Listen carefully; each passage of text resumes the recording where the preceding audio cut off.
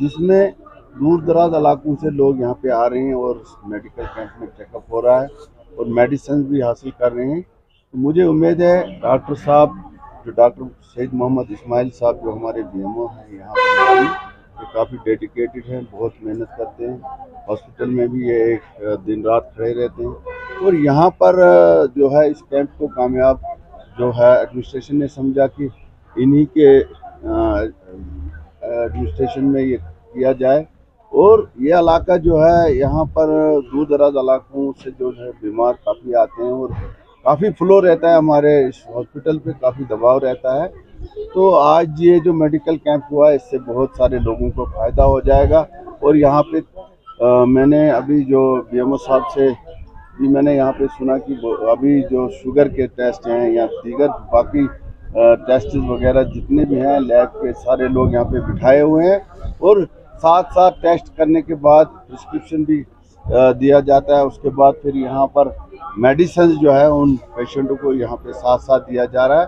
लोग काफ़ी इस कैंप से खुश हैं। मैं इनका भी शुक्रिया अदा करता हूँ। सी साहब का शुक्रिया अदा करता हूँ। खासकर मैं डीसी साहब का शुक्रिया अदा करता हूँ, जिन्होंने ये फैसला लिया कि आज बनहाल में ये कैंप किया जाए। तो इस बात के लिए मैं उनका तहदील से शुक्रिया अदा करता हूँ। एन सी डी कैंप हो रहा है, जिसका मेन एम है लोगों में अवेयरनेस पैदा करना। Non communicable disease non communicable disease infection नहीं होती मतलब ये एक दूसरे से एक से दूसरे इंसान को नहीं लगती है।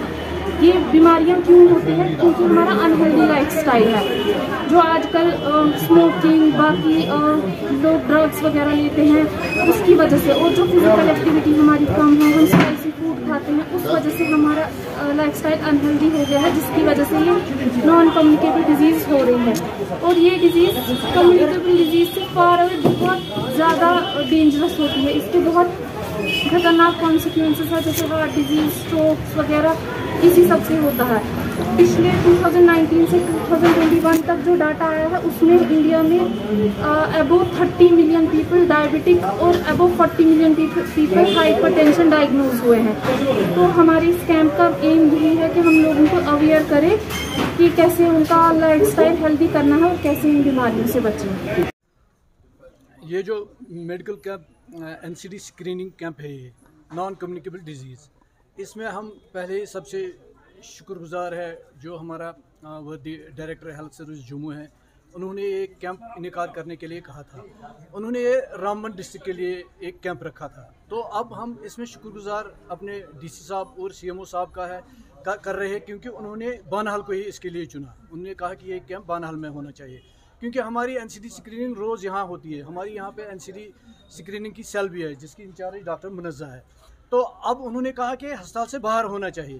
तो अब हमने सोचा कि एक फ्यूजेबल जगह है। यहाँ पे हमने अब यहाँ, आप देख रहे हैं कि सारे पेशेंट कितने पेशेंट यहाँ पे आ रहे हैं। सारे पेशेंट को हम यहाँ पे ब्लड वो देख रहे हैं। आप यहाँ हमारी टीम बैठी हुई है। वो इनको पहले ब्लड शुगर चेक करते हैं। इनका बीपी देखते हैं। उसके बाद हमने अंदर आप देख रहे हैं कि कितनी भीड़ यहाँ पे, हमने यहाँ पे आठ डॉक्टर साहिबा रखे हैं, मेडिसिन रखी है।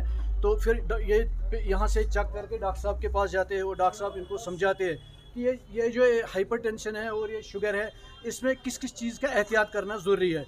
क्योंकि ये डिज़ीज़ जो है, ये इन्फेक्शस डिज़ीज़ नहीं है, ठीक है?